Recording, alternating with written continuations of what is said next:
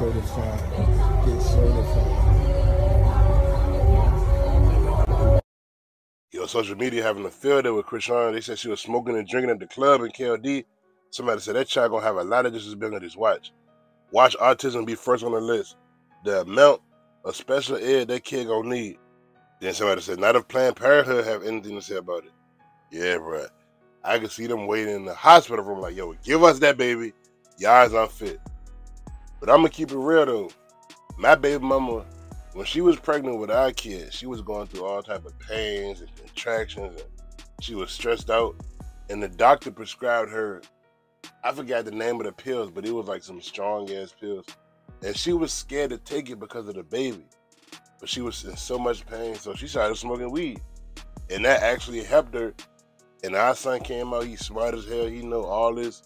Everything he's supposed to know right now at age six.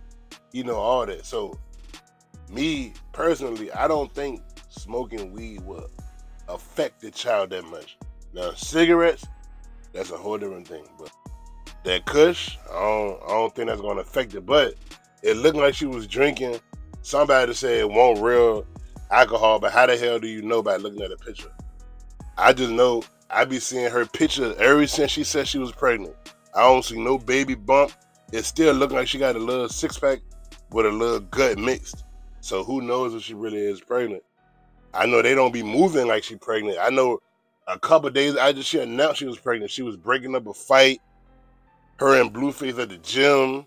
They still getting into it, going back and forth with him and the baby mama. They telling her to abort the baby. So I don't know. Maybe she is, maybe she not. I don't even care at this point. But just the fact that they're at the club partying, she had the blunt, she had the cup, she was lit.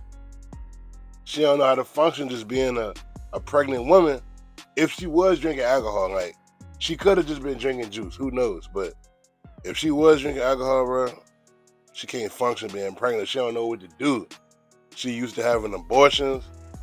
She used to her and Blueface fighting, making up, fighting, making up. So this is all new to her. And Blueface, he just down for the ride. He gonna ride until the wheels fall off, literally. Crazy man. What y'all think about this, boy? B?